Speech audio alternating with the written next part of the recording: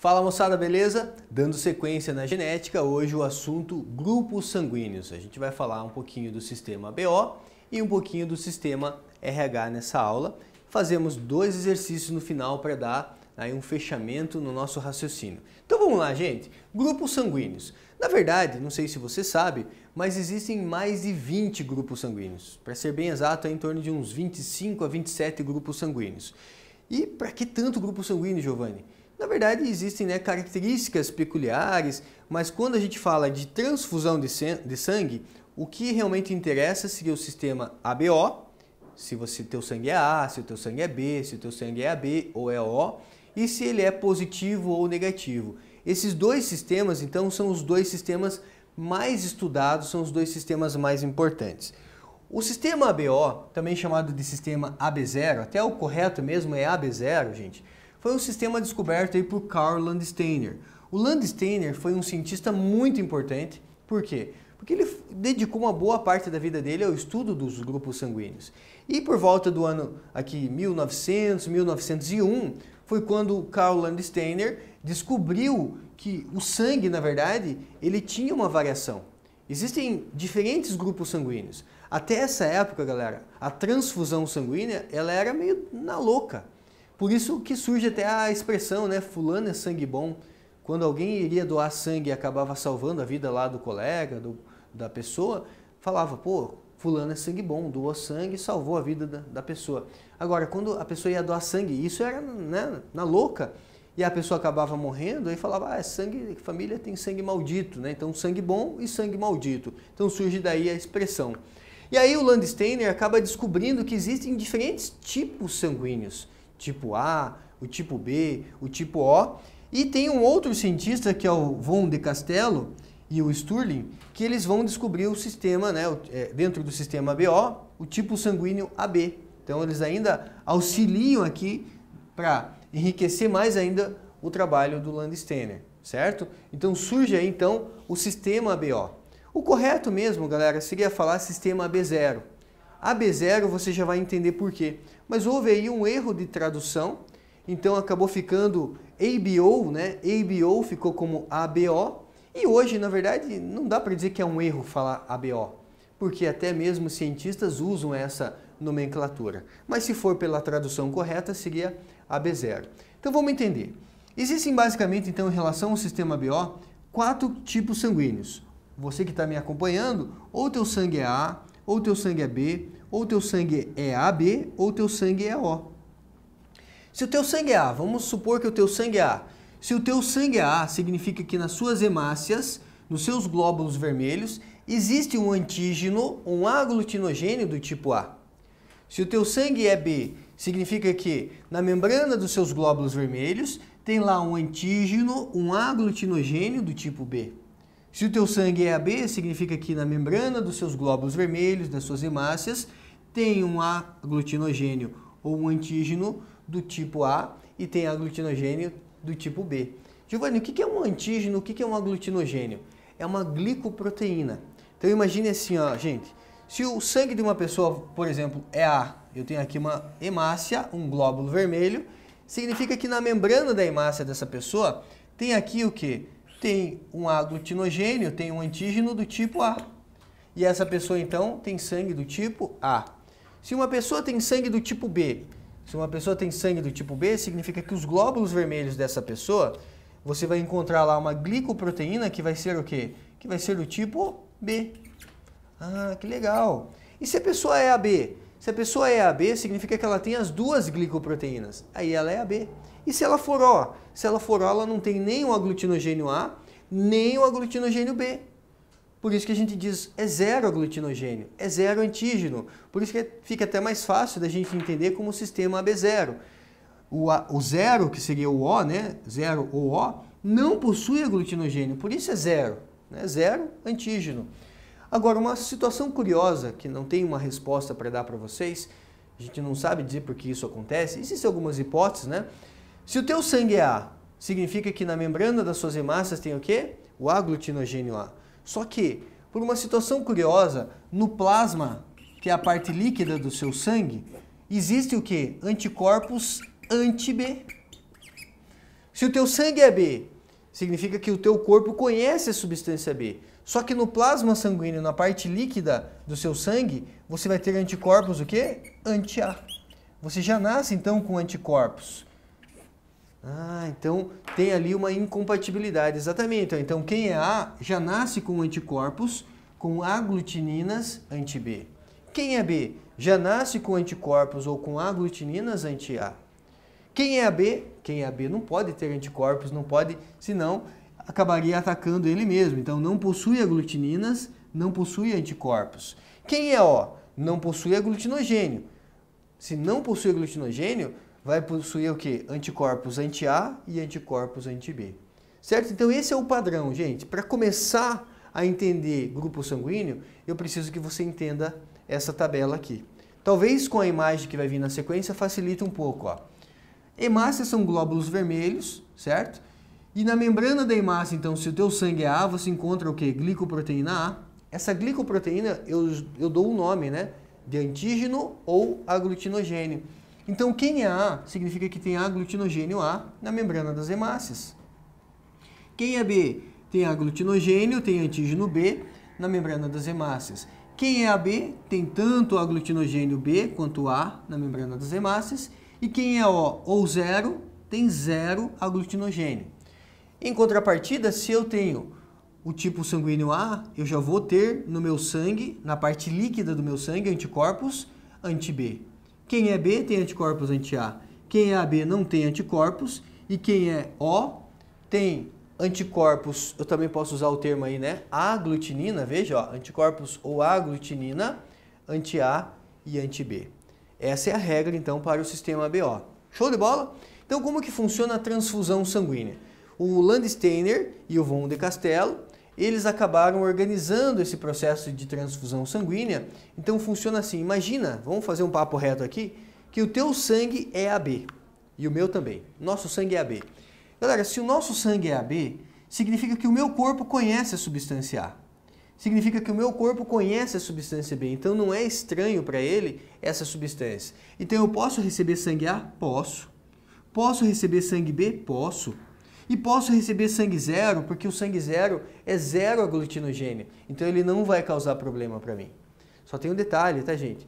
Lembre-se que quando você é AB e você recebe sangue A, junto com o sangue A vem o quê? vem os anticorpos anti-B.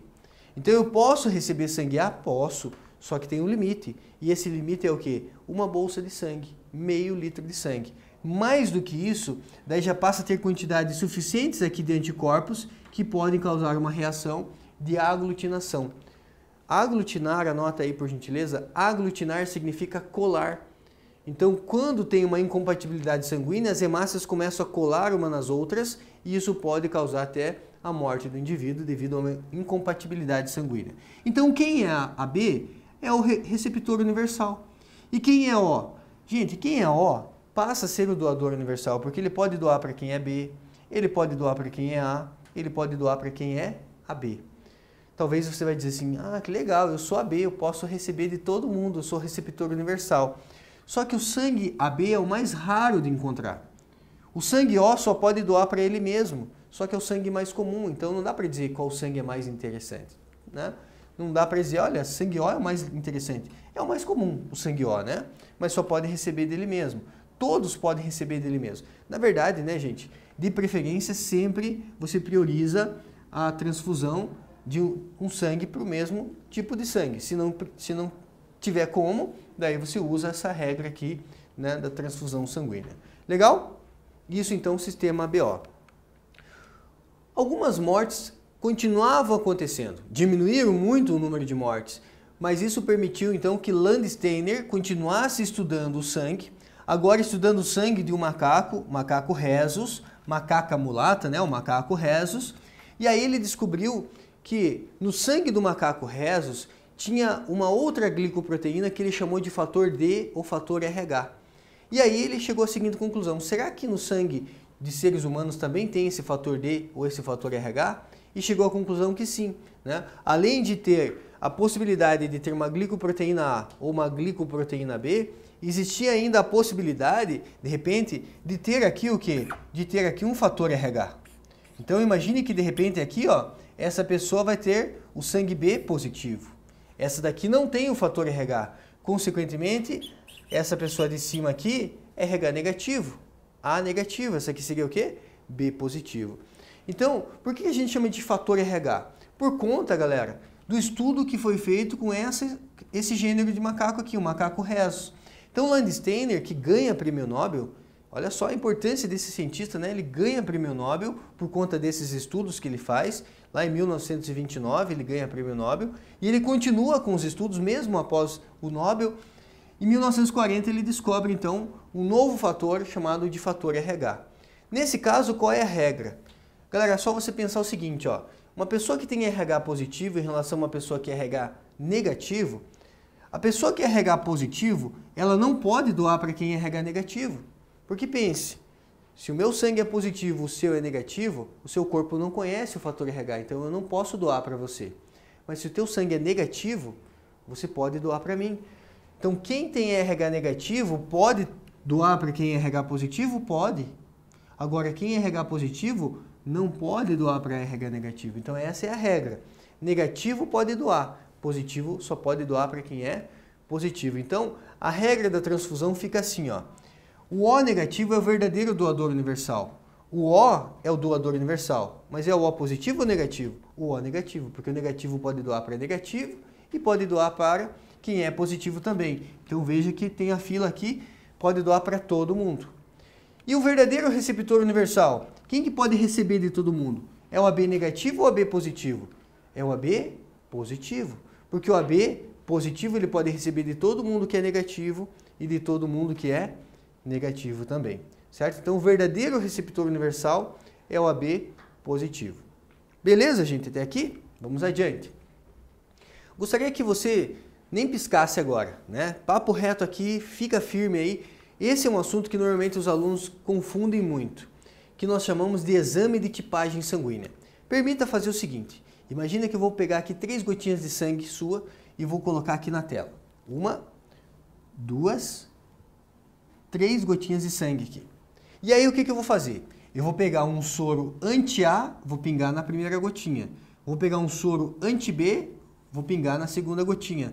E vou pegar um soro anti-RH e vou pingar na terceira gotinha. O que eu quero fazer agora aqui é descobrir qual é o seu tipo sanguíneo. Então imagina que eu tenho aqui três gotinhas. Quando eu pingo o soro anti-A, o soro anti-A ele reage com qual substância? Com a substância A. O soro anti-B reage com qual substância? Com a substância B. E o soro anti-RH reage com qual substância? Substância RH. Pense assim, o esquadrão antibomba reage com a bomba. Então, quando eu pinguei o soro anti-A e reagiu, aglutinou, tá vendo que ficou esquisito? A gente diz aqui que aglutinou, ou seja, aconteceu a reação química. Significa que no seu sangue tem o quê? Tem a glicoproteína A. Então, eu já sei que você é A. Quando eu peguei o soro anti-B, nada aconteceu, então você não tem a glicoproteína B. Quando eu peguei o soro anti-RH, veja que ficou esquisito, ó, aglutinou. Então esse sangue aqui é o que, gente? A positivo. Talvez você ainda fique com dúvida, então vamos insistir aqui. Ó. Imagine um segundo, uma segunda pessoa, três gotinhas de sangue. Pinguei o soro anti-A, reagiu. Galera, se reagiu, o soro é anti-A, ele reage com qual substância? Substância A. Então quer dizer que tem a substância A no sangue da pessoa. Pinguei anti-B e anti-RH, nada aconteceu. Então essa pessoa aqui é o quê? A negativo. Mais um exemplo. Pinguei anti-A, nada aconteceu. Pinguei anti-B, reagiu. Pinguei anti-RH, reagiu. Significa que o sangue dessa pessoa é o quê? B positivo.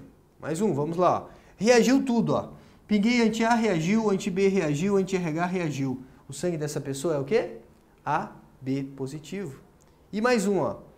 Pinguei o soro anti-A, nada aconteceu. Pinguei o soro anti-B, nada aconteceu. Pinguei o soro anti-RH, nada aconteceu. O sangue dessa pessoa é o quê?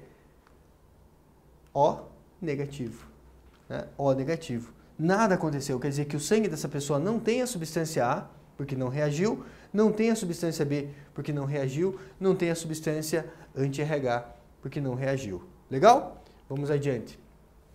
Para terminar e a gente poder aí resolver dois exercícios, olha só. Quando a gente fala de fator RH, existe uma doença chamada doença hemolítica do recém-nascido, ou eritroblastose fetal. a doença hemolítica do recém-nascido. O que, que acontece nessa doença? Dá uma olhada aqui. Ó. Então imagine que aqui você tem a mãe. Vamos colocar aqui. Isso aqui seria a placenta. A placenta ela é, é um, uma estrutura que protege né, o embrião. E aqui nós temos o feto. O feto. A mãe e o feto. Ou a mãe e o bebê, né? Poderia ser assim. Vamos supor o seguinte, galera. Uma mãe que tem RH o quê? Uma mãe que tem RH negativo. E o feto, ela está esperando ali uma criança RH positivo. Se essa criança é RH positivo, significa que ela tem uma hemácia, ela tem um glóbulo vermelho com o fator RH. Então vamos colocar aqui o fator RH. Ó. Vamos chamar de fator RH. Ou seja, RH positivo. Né? Então aqui RH positivo.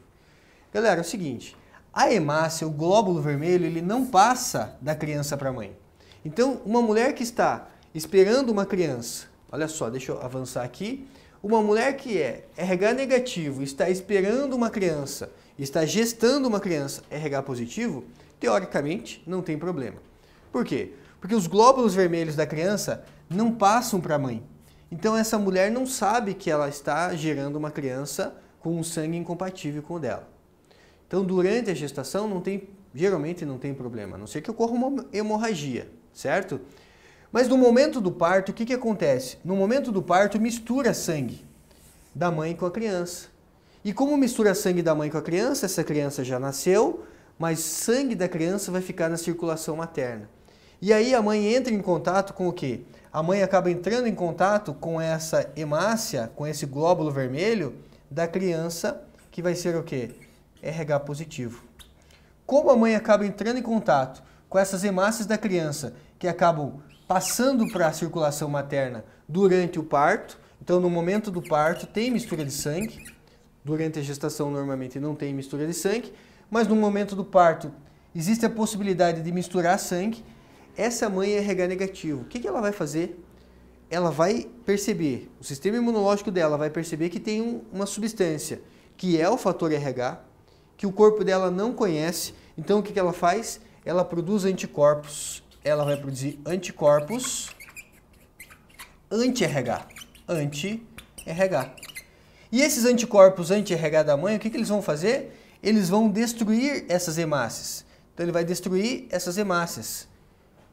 Tem algum problema destruir essas hemácias? Não, a criança já nasceu. Então o primeiro filho normalmente não é afetado pela doença hemolítica do recém-nascido. Mas quando essa mãe tiver um segundo filho, RH positivo, você já sabe que as hemácias da criança não passam para a mãe. Mas os anticorpos da mãe, esses anticorpos podem passar o que, gente? podem passar para a criança, porque os anticorpos são pequenos o suficiente para passar para a circulação da criança. E ao passar para a circulação da criança, os anticorpos da mãe vão fazer o quê? Vão destruir as hemácias da criança.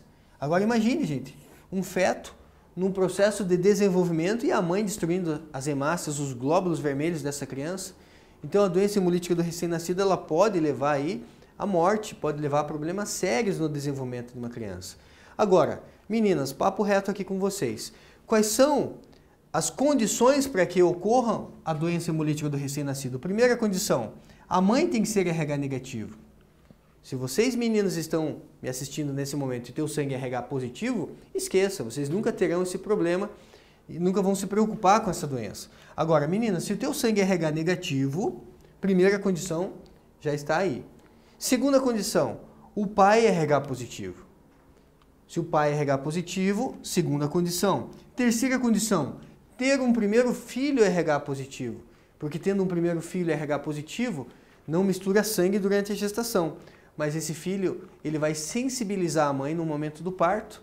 No momento do parto, a mãe entra em contato com RH positivo, produz anticorpos. Esses anticorpos que estarão na circulação materna, quando ela tiver um segundo filho RH positivo, os anticorpos passam para a circulação desse segundo filho e vão atacar as hemácias desse segundo filho, certo?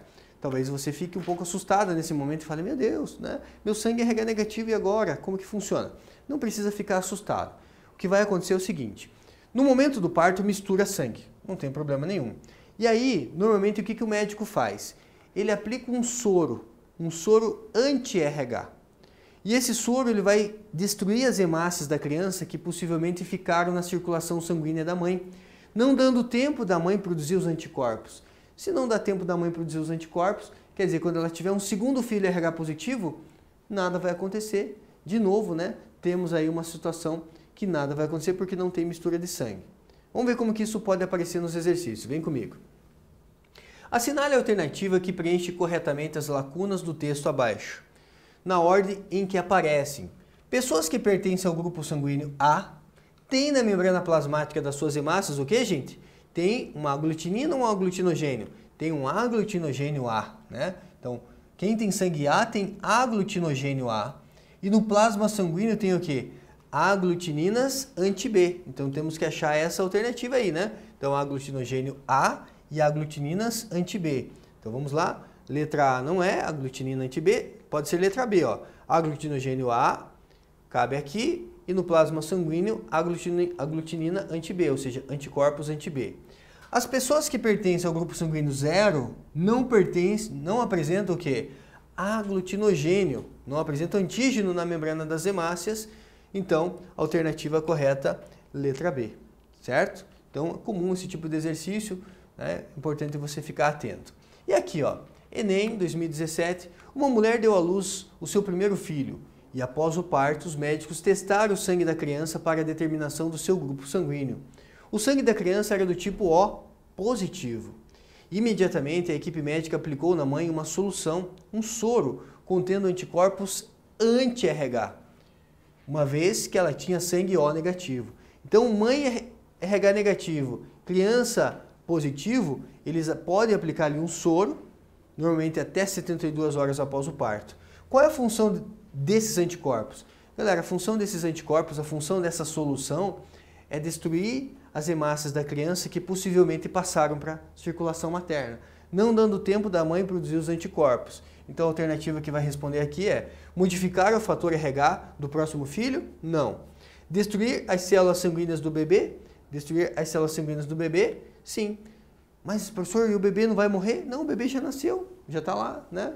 Fora do corpo da mãe. Então, a ideia é destruir as células sanguíneas do bebê que passaram para a circulação materna antes que ela produz anticorpos. Legal, gente? Então, encerramos aí mais uma aula falando da genética dos grupos sanguíneos. Até mais. Tchau, tchau.